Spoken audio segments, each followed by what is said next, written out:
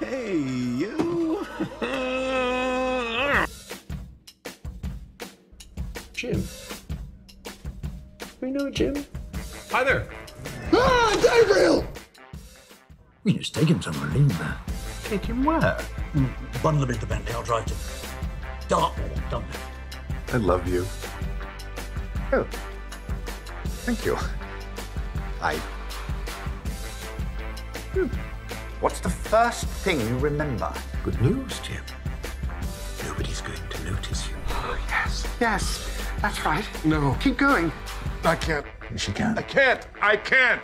I am not your friend. It hurts to remember. I know. Do it anyway. Baboom. Vavoom. That's the plan. Yeah. And also, why you're naked. Who told you I was naked? I can see you're naked. Oh! gravity is the um, thing that happens when objects are pulled together. In this case, they're all pulled downwards because the Earth is the largest thing around. Please, try to pay attention. Why did you bring the box here? What box? What are you doing in this bookshop? What's Gabriel? You are. Jim. Short for Gabriel. No, no, uh, short for James. I am Dustin. James. Cool, I love it. James. Long for Jim, short for Gabriel. No, just forget about Gabriel. Got everything just the way you want it. Oh, yes. Mr. Fell's been very good to me. Hasn't he just? Surprising, really.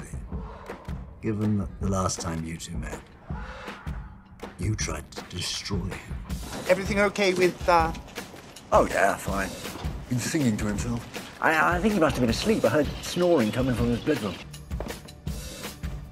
Do you want a hot chocolate? Oh, I thought I'd make the books easier to find. So I thought if I put them in alphabetical order. Alphabetical. By author?